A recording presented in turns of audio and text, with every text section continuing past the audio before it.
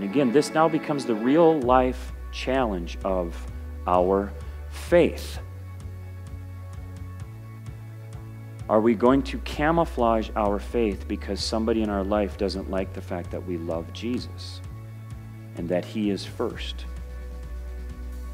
Are we going to walk away from our faith because we don't want to stir anything up at work? These are the types of real life situations that people like Saul and the disciples found themselves in, the real life situations that people in, in China find themselves in, that Muslims who convert to Christianity find themselves in.